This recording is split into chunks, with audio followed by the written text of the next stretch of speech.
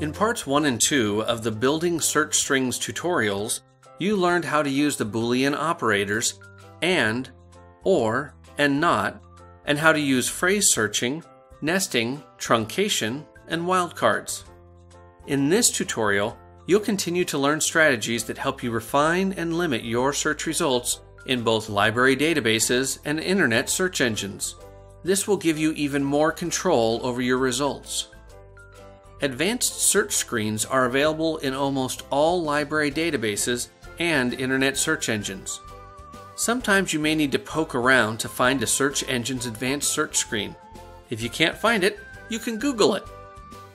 Advanced search screens often begin with an area to do with a Boolean search, like in this example from a library database.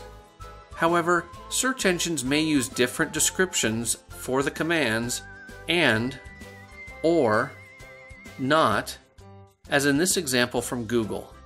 The advanced search screen may also allow you to use phrase searching. However, advanced searching goes beyond Boolean and phrase searching, allowing you to narrow your results to exactly what you're looking for.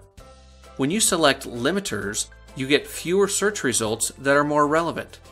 Some of the limiters that are available include the language that the articles are written in, the article's reading level, the date the articles were created, the type of publication, like newspaper or journal, the option for only full text articles, and more.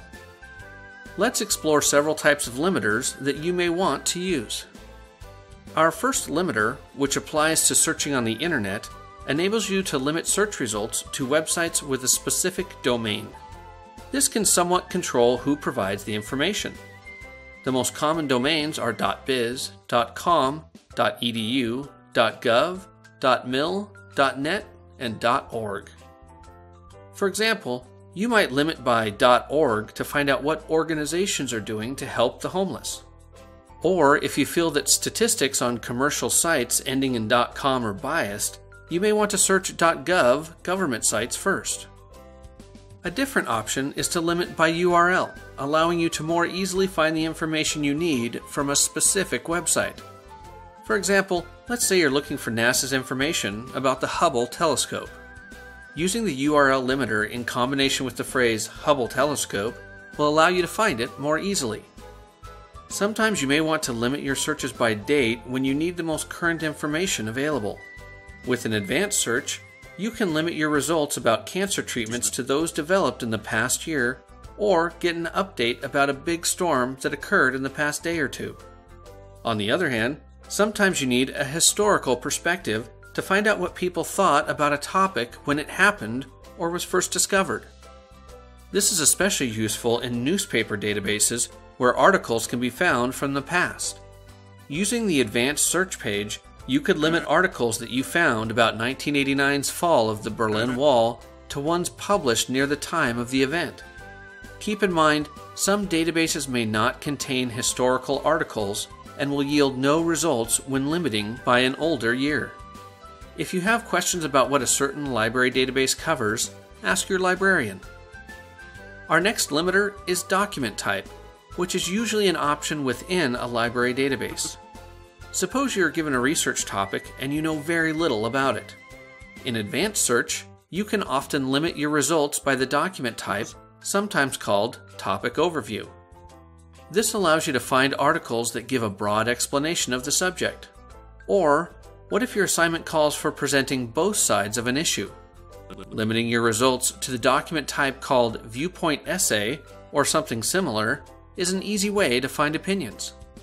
You can even use the document type called cartoon to find cartoons that make a statement about an issue. Take time to explore the options. You may be surprised at what you find. When using a library database, notice that it may provide a sidebar allowing you to further limit your search results. Some common limiters are full text articles, publication date, subject, document type, and publication title. Let's say that you're a fan of the magazine called The Economist.